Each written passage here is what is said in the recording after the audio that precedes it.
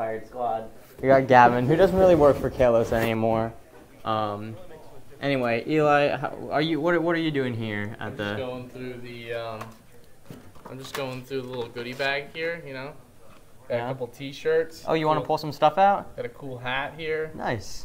Um, little Testo. What are these called? Koozies. Beer I cooler? think. I can't drink. I think but- they're called koozies. Um, real cool thing I think here is the vacuum pump. Uh, just the, actually the vacuum. Okay, we're not we're not here to. give away a whole vacuum It's, it's called the review. I said I said vacuum pump book. All right. I didn't know a vacuum pump could fit in that bag. Not gonna All right, lie. move the camera away from me. now. Okay, yeah. Some great stuff we got here. We're gonna keep walking around. Oh, we got some guys over here. Sal, we're gonna loop around to you.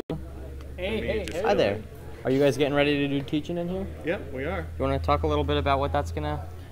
Um, I already did that. I mean, like, be more descriptive. Oh, like okay. Like you gave a little brief, brief Yeah. overview earlier. Sure. All right, so what we're going to be going over is how to properly clean a ductless system. I got one over there that's pretty dirty, and we actually brought it out of a chicken coop. That these these chickens were somehow well conditioned, but they they weren't good with maintenance. Wait, is that a real chicken? That you got that out of a real chicken? Real chicken coop. Yep. Wow. And so there was piles of chicken poop and stuff like that because you know you think people are bad with mini splits. You should try putting them with your farm animals and just seeing what happens. So, anyways, it's a pretty good display.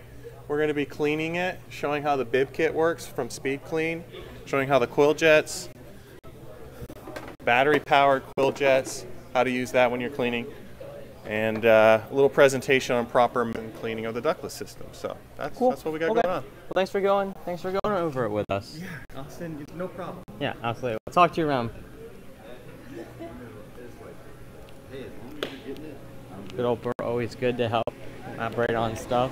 We're gonna keep going. Check out what else we got here. It's starting to heat up, I'm telling you. You get to those, you know, springs, early winters in Florida, and it does really start to heat up earlier on in the day, later on too, all throughout the day. Testo, we just talked with them earlier. Right now, I think we have Jim talking about some HVAC stuff. I'm sure. You know, it's not my my job to know what, but I'm sure it's good. Meanwhile, we have a 9:30 class getting ready to start pretty soon over in this warehouse. Equipment Mounting Solutions product line overview with Jim Kitchen, product line manager. Equipment Mounting Solutions. You know, that's really interesting. You should check that out on the event website. There's a lot going on over here. Just walking around a little bit more. That coffee mi- mistake, it looks like it was fixed up. So, yep, right here we got the ductless cleaning practice coming up next. Also, gonna have Rick Sims in here, Dom Gillis. Gonna be some great stuff.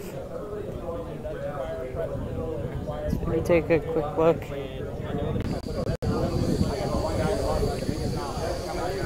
Let me tell you,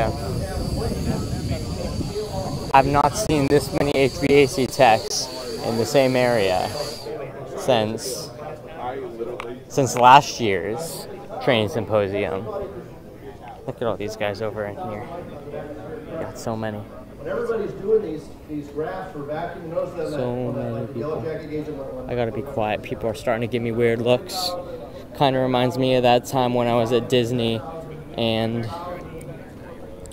um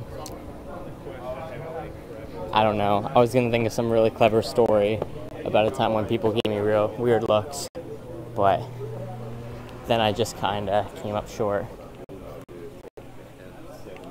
We're gonna head back over here now. What's up, Gavin? What's up, Eli? Coming back to them again.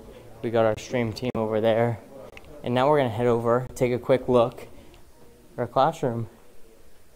Looks like we're getting ready to do some sort of setup right here. What's going on in here? Uh, virtual classroom. A virtual classroom? Do you know what we're going to be talking about?